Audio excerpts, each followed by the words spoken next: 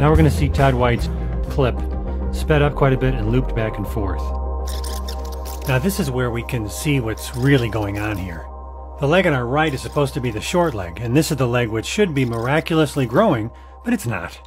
So this video came out in January of 2019. It's been seen by tens of thousands of people, especially because it's been copied and shared by a lot of other YouTubers around the world. And when this video initially came out, I was really excited about all the good that it would do in exposing the fake parlor trick of Todd White. And I started to see that no, some people just didn't care. Some people actually didn't mind that it might be a trick, and a lot of people just assumed there's no way it could be a trick. Over the past five years, I've really started to see something that I think could be called charismatic confirmation bias. And I'm going to show you a really good example of that from the recent roundtable discussion from the American Gospel Film Project. Justin Peters is going to take out his laptop and he's going to show Dr. Sam Storms and Dr. Michael Brown this two minute video, and Sam Storms will respond by saying this I don't care if this was a fabrication. But let's go through the entire segment and we'll start at the beginning when the topic of Todd White and the leg lengthening first comes up. I'll be adding a lot more video clips and commentary as well. Todd White is famous for his YouTube channel. He goes around and finds people randomly on the street and asks them if they have anything wrong, you know, bursitis, you know, sh- shoulder sore, got a backache, you know, that kind of stuff. Okay. Do you have anything physically that gives you any trouble? At all? Back. Yeah? Yeah. Oh, wow. So is it hurt right now? Like when you're moving around? A little bit. And he puts people and sits them down and has them straighten their legs out, holding one foot in each hand.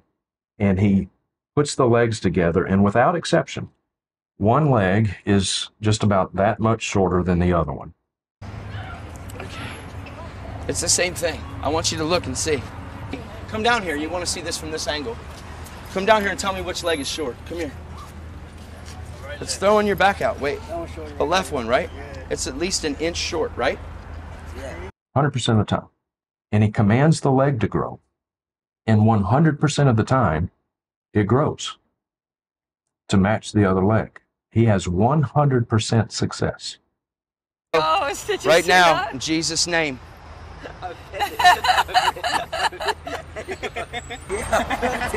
This has been exposed as a trick. It's intentional deception. In fact, um, let me just pull it up.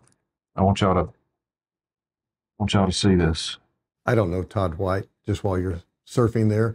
I've never met him. I've never listened to him speak. I do know from credible witnesses that he has led hundreds of people to saving faith in Christ. Sam Storm says he's never met him, he's never even listened to him one time, yet he knows some things about him for sure. This is the same guy who said something very similar about Benny Hinn. I don't know Benny Hinn personally. I've heard that he has changed his ways with regard to the prosperity gospel. He's publicly repented of that. I still believe in prosperity, but let's look at what the Bible says. The message of prosperity is in the Bible. We, we, we cannot deny that if we give, we receive. We cannot deny God will bless us. That's in the Bible. You can't erase it. No way. God wants to bless his people way more than you ever want to receive that blessing.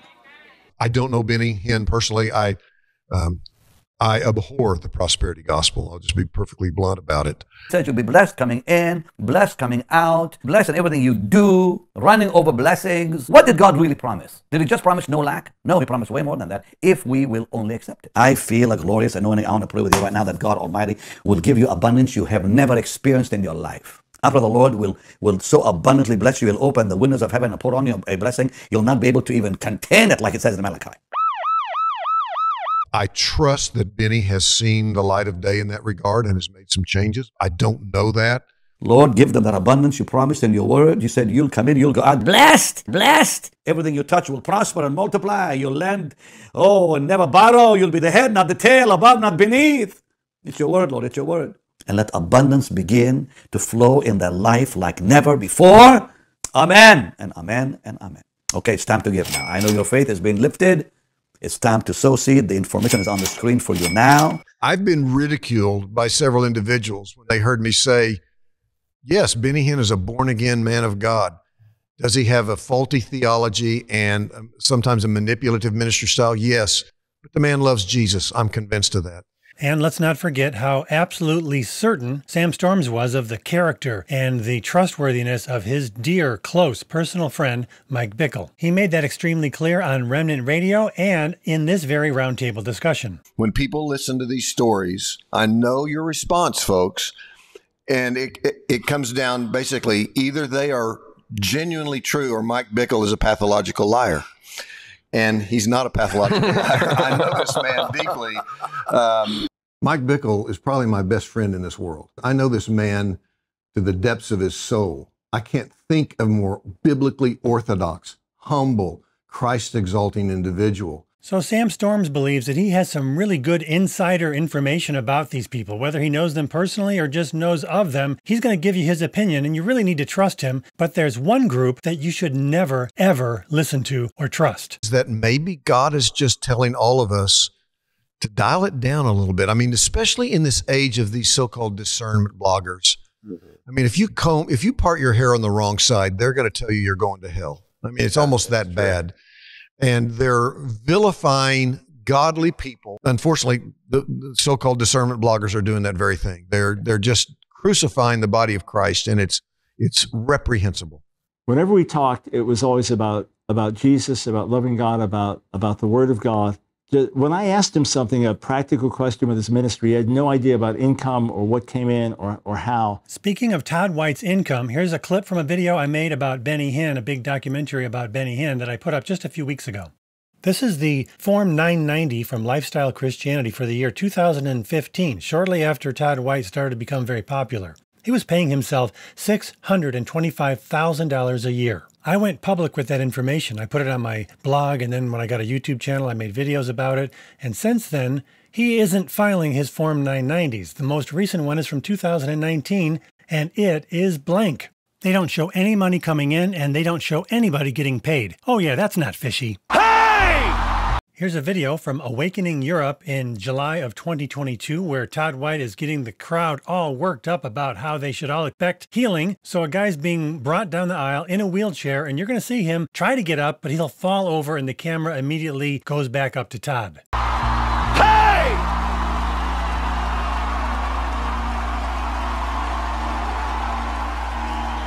Woo! Be healed in Jesus' name. Be healed in Jesus' name. Come on. In the name of Jesus, be healed. Be made whole in Jesus' name. In Jesus' name.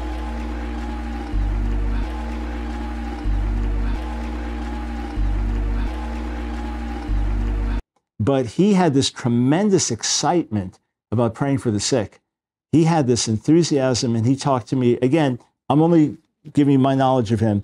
Talked about when he was working a secular job and just started praying for the sick and seeing seeing people healed, etc. So I made this video in August of 2019, and it shows Todd White telling the same exact story with completely different details. As time has gone by, the details have gotten even more dramatic, and he's become even more of a hero figure, which is basically what a narcissist tends to do. I actually prayed for six to seven people every day, made it a mandate. So he prayed for six to seven people every day for three and a half months. I mm-hmm. prayed that way for about three and a half months. So probably about 500 people. I didn't see any manifestation. So before his healing started to work, he prayed for about 500 people in this early version of the story. And I would always come back to God. Nothing happened. And you're doing this for how long? Three and a three and a half months. And you would think Five that- to seven people Yeah, a day? every day. And you're getting no results? None. Yeah. You keep doing it. I just keep doing it. Went for like a long time, like three and a half months. We prayed for an average of 10 people every day. In this version of the story, he prayed for an average of 10 people every day. And I saw no miracles at all, prayed for over 900 people. You heard it, folks. Over 900 people, even though earlier he said it was about 500 people. without seeing anything. But every time I went back to my Bible, it still said the same thing. it didn't change. It's so true. I went back and it said, These signs will follow them that believe. I'm like, Lord, help my belief. I, I obviously I'm a Christian. I love Jesus with all my heart, and I know they need healed. And so kept praying, kept praying, prayed for over almost a thousand people.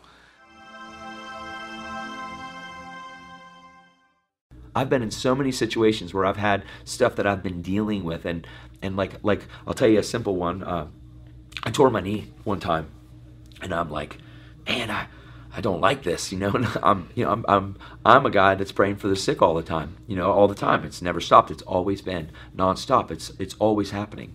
So I'm praying for, I'm praying for people. I tear my knee, and I, I end up going to a doctor. My doctor is Jewish. He's a Jewish doctor. So I go in there and I tell him Jesus is going to heal me, man. And he said, listen, I'm Jewish, and I don't believe like you believe, but you can see right here, they did the MRI. There is a tear right here, and you need to understand that we have to operate on this because your knee's not going back to normal. I said, Man, I'm telling you, Jesus is going to heal me. He goes, All right. He goes, You're very zealous for what you believe in. He goes, That's great. So we prayed and prayed and prayed and prayed and prayed, and nothing. I didn't get to see it healed, and it was a bummer.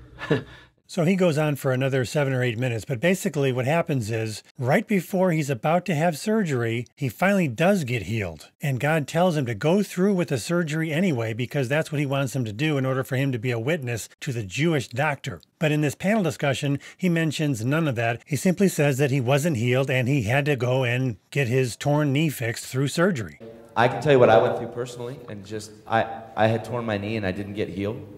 And I had had people pray for me, and my knee did not get healed, and I had a torn meniscus, and went through surgery, and came out of surgery and was hurting really bad in my knee. And so surgery was scheduled for three weeks later. I had Dan pray for me, all that stuff. So I'm I called Dan one morning and I'm I'm I'm a little I'm a little overwhelmed because I told this Jewish guy that this Jewish doctor, God's God's son, one of his sons, that, that he doesn't know it, right? In the Messiah, in Christ.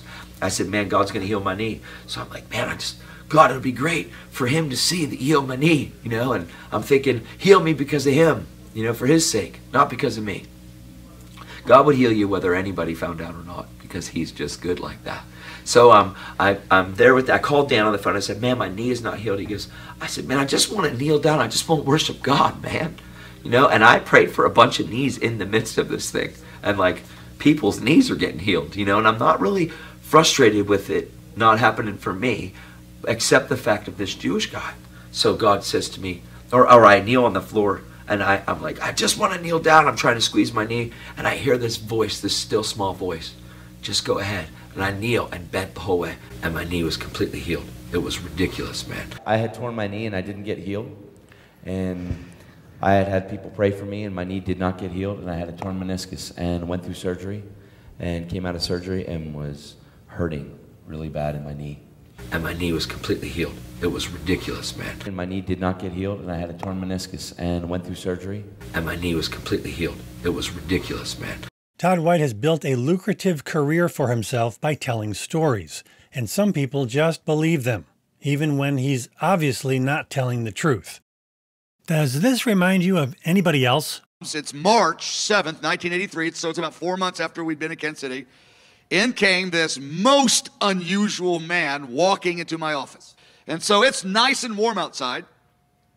Had been a couple weeks. This man walks in my office with a winter coat on. When he originally prophesied. When he originally it. prophesied all this, and it, it was, was- hot outside. Yeah, it was. He comes walking in in a winter coat. Walking in as a total stranger, he's about 55 or 60, in overalls, wearing a winter coat, and it was about 70 degrees out. The official weather report for that day, March 7th, 1983, high of 51, low of 34. It was about 70 degrees out. When he originally prophesied. When prophesied. he it. originally prophesied all this, and it, it was, was- hot outside. The Kansas City Times reported that on March 7th, 1983, the high was 48 and the low was 45. It was about 70 degrees out. 500 people. I Prayed for over almost a thousand people. And my knee did not get healed, and I had a torn meniscus and went through surgery. And my knee was completely healed. It was ridiculous, man. So I would, I would, the thing I would wonder about is all the people that have attested to being healed on these YouTube things, and it's nothing to do with legs. It's eyes, it's pain here and there. The people Yeah, that I'll- long term say they're healed. Hold that, hold that thought, because Yeah. I, I can answer that. And, and then if uh, the leg length thing, you, can- anybody could make it look a certain way, but if the lifelong back problem disappeared after that, that would be my bigger issue. Okay, let's leg shorter than the other one, and it throws you back out. Okay, so regardless of, like, well, yeah, no matter what. Like, so what I'll do, regardless of what you believe, I'm gonna pray for you, and Jesus is gonna grow your leg out and heal your back. You don't even have to believe, dude. So you get into the the weirdest place of belief that you want. You can unbelieve as much as you want, and God's gonna grow your leg out and heal your back. I promise, man. Okay. Right now. Jesus' name. Look at it. See it? Whoa. Look at that. You guys see that right there? Yes. It's longer now than the other one. That's nuts. So, Father, I thank you this guy carried. for a brand new back, God. I thank you that it's not about religion, it's about Jesus. Now, I want to show you how he did it. Now we're going to see Todd White's clip sped up quite a bit and looped back and forth. Now, this is where we can see what's really going on here. The leg on our right is supposed to be the short leg, and this is the leg which should be miraculously growing, but it's not. Look at the leg on our left. That's where all the action is. That's what's actually being manipulated. You can see that Todd is actually pivoting or shifting the foot of the so called long leg so that the heels match. Now, he's doing this very slowly over time, but it's painfully obvious when you speed up the clip. That is intentional, deliberate deception. He know, and the reason he could tell that guy, remember when he said it doesn't matter what you believe, you can get to the weirdest state of, of unbelief you want. The reason he could say that to that man with such confidence is because he knew full well that what he was about to do was a trick. And he's right. It doesn't matter what that guy believed because that was intentional And you know that for a fact. deception. You can say just- just, just, you can stopped say before God, without any possible doubt, that you know Todd intentionally performed a trick on that guy's leg. because he does. He has done that thousands of times, oh, hundreds Oh, okay, at so minimum. all right, so the So, little the little I know of Todd, Charlatans. It's a it's an old leg lengthening I- routine. I- This is, I where, under- this is where your picky uno distinction with charlatan comes in. No, no, it's not picky in here. This is much more major. I was in a in the Pentecostal church where I got saved.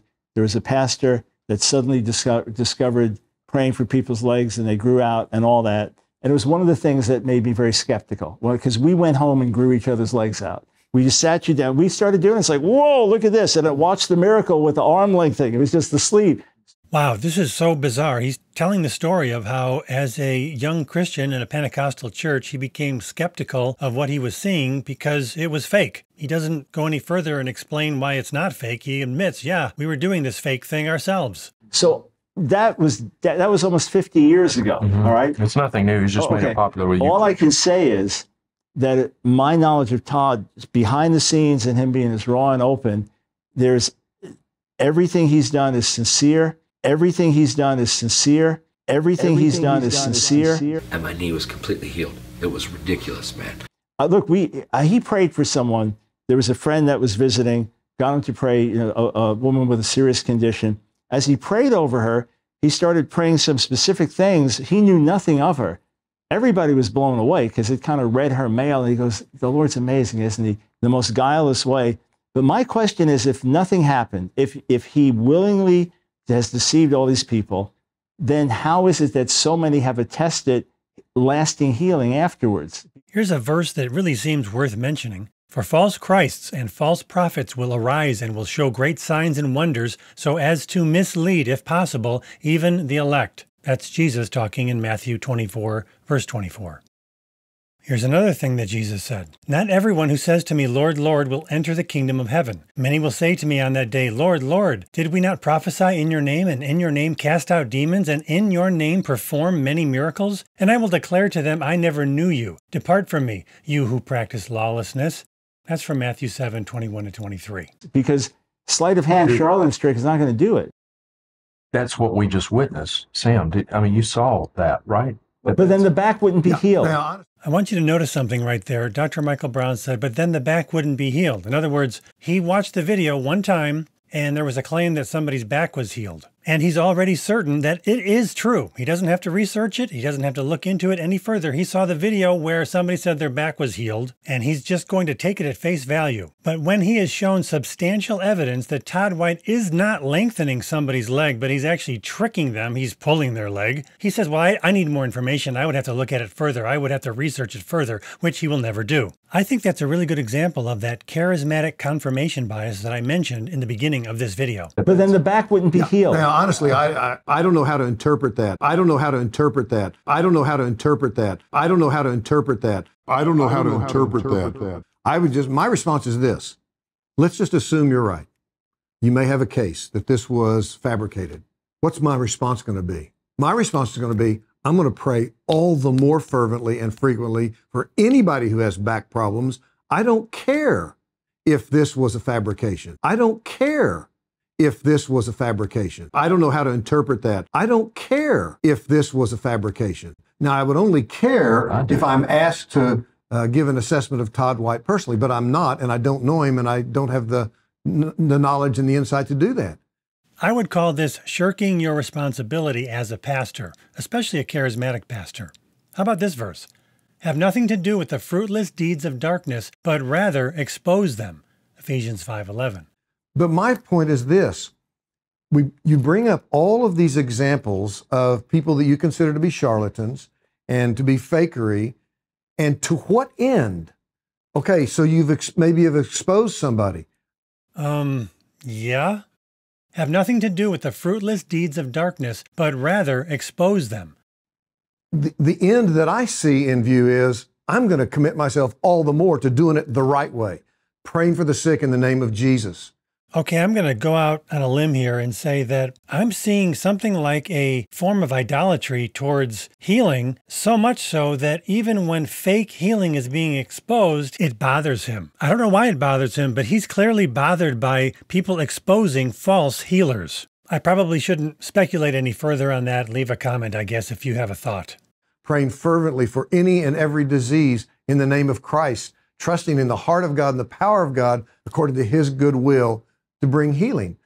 So again, I think that just comes us back almost full circle to the orientation of how these sorts of things are going to affect us in ministry.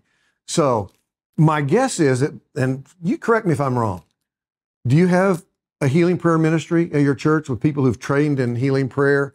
Sam Storms really doesn't seem to care that people are being deceived. He really doesn't seem to care that people are being deeply hurt by false healers. The more I watch this, the more I'm really shocked at how little they seem to care about precious souls within the church. These men seem to be pretty oblivious to the many former charismatics who are actually leaving Christianity altogether because of the way they've been mistreated and misguided, the way they've been lied to, and in some cases, the way they've seen their own friends and family members die as a result of bad healing teaching from bad charismatics. And instead of addressing the very serious problem of the fakes and frauds within their midst, they're going to instead go after Jim and Justin and ask them if they're praying as much as they should be, which is a complete distraction.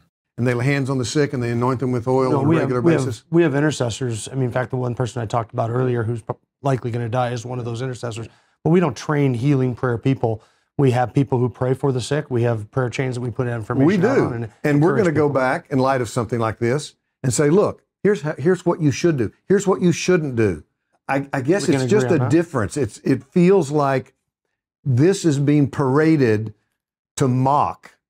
You got that, folks? If you're trying to point out false teachers who are doing great harm within the church, well, you're probably just mocking. You're probably just doing it for the wrong reasons. and to create a cynical, a skeptical mindset in people rather than saying, you know, there are charlatans out there. It's too bad. Let's expose them when we have evidence to that effect. Which would mean pretty much never. Based on what these men are saying and the way they've behaved for their entire careers, they will never expose anyone because they will never look for or believe that there is any evidence. And if they are brought evidence, they will oftentimes attack the person who's bringing the evidence and ignore the perpetrator. So-called discernment bloggers are doing that very thing. They're they're just crucifying the body of Christ, and it's it's reprehensible. But in the meantime, let's obey God's word. Let's re- pursue, earnestly desire spiritual gifts. 1 Corinthians 14 1, especially prophecy. Because if you're not, you're sinning. I'm having a real hard time believing that anybody takes this man seriously as a Bible scholar. You know what's sinful? It's so called prophets like this. 13121 is a number uh, that has just come to me that I believe is um, significant. I don't know, you've never met you, never talked to you, not connected to you in your life in any way. And you've never told me that. You've ne- I've never met you or seen you in my life. Is anybody here that has the birthday 228? You. 12 6. 06. 1. Psalms 1. 2 6. Verse 6. This is the false prophet Chris Reed looking at his tablet, getting people's names and addresses and phone numbers and birthdays. Wow. Amazing how he can use Wi Fi to get messages from God. This is the world that Sam Storms has been perpetuating his entire lifetime. And I can already imagine what he and Dr. Michael Brown would say. Sure, this might be a little flaky, but how do you know for sure it's not fake? If you've watched this video all the way up to this point, I want to say thank you. And I want to say you have every right to be a good Berean and to show skepticism where skepticism is needed. That's a commandment in Scripture. Earnestly desire spiritual gifts, especially prophecy. And, and I can agree with most of that. You say this is being displayed or paraded in order to mock. I think that these men, the Justin critiques, are mocking the true gift of healing, the true, the true act of healing, and the true So- power of God to heal. I so think what- these guys are the ones making a mockery of it. Todd So White makes sounds a like mockery you're saying, so we're going to get even. Once again, instead of admitting, yes, frauds within the church are a really bad thing and they do mock God, they do mock true Christianity, instead, he's projecting on Jim and Justin here and saying that you're just trying to get even. Hmm. And we're going to mock no, them no, in no. return. No, no, I'm saying you're, you're saying that you're concerned that this is being done to mock. I'm saying these these are men that are mocking. These are men that are mocking what you guys believe. These are men that I think they make a mockery of Scripture through this type of And chicanery. they have millions of followers, millions of followers. And to say that Todd White loves God, that he loves people, I would say no, he doesn't. I mean, if I love someone and if I love God, I'm not out there intentionally deceiving people. And he the- and he would tell you to your face that you have falsely judged him, and that he's not intentionally deceiving anyone. There's, there's and that he's not. of these kind of video that he's done. I, I understand. The que- the question is if someone is actually healed. All, all I know is, I, I all I know is this: that you cannot sit here and say you know for a fact that he is doing a cheap parlor trick. You believe it strongly, but you do not know it for a fact. and as the time I've spent with him off the record, behind the scenes.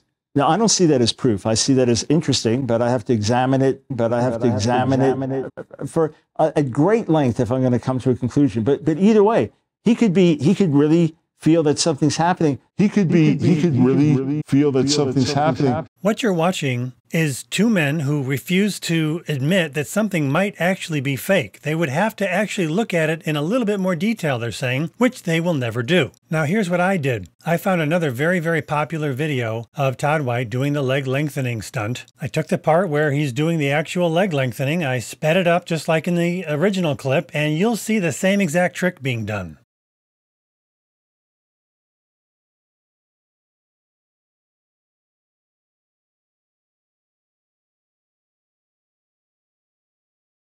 Without knowing it, Sam Storms does a great job of clarifying what the real problem is here. I don't care if this was a fabrication. Here are the conclusions that I think these gentlemen unknowingly are arriving at. Number one, evidence against false teachers is irrelevant. Number two, a popular charismatic leader is to be trusted.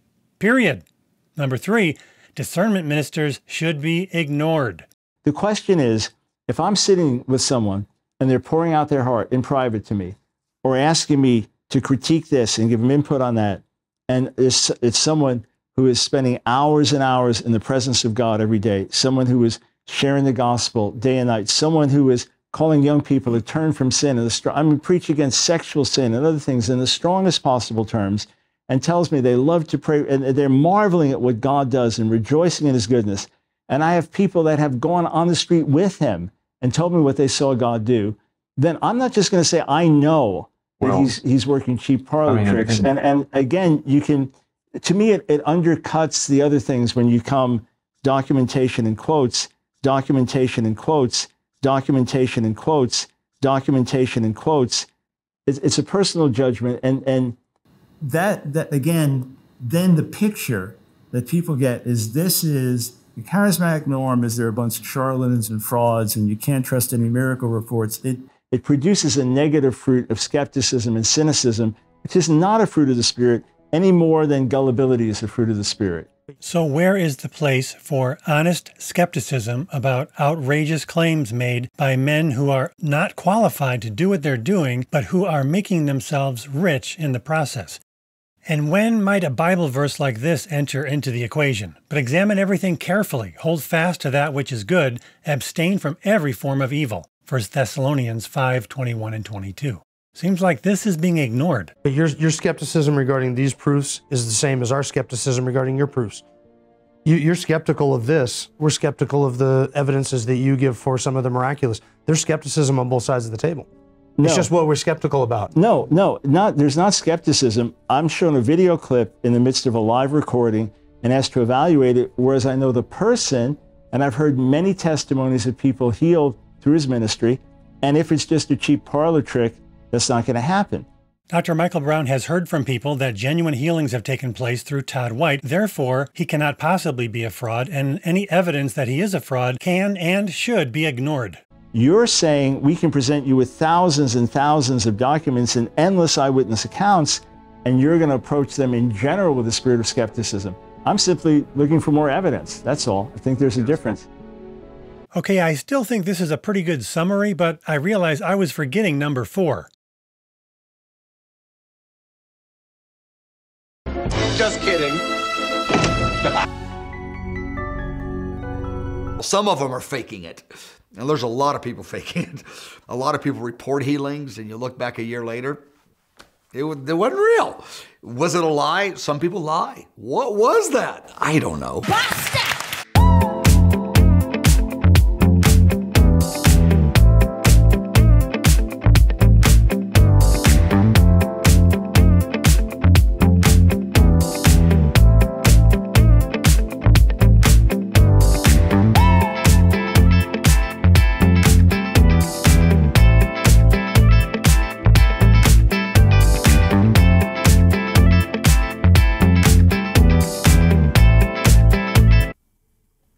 Father, I thank you that you would